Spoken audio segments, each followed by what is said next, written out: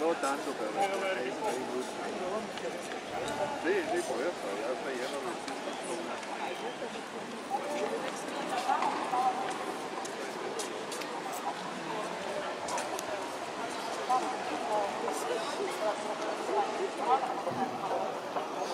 Thank Thank you.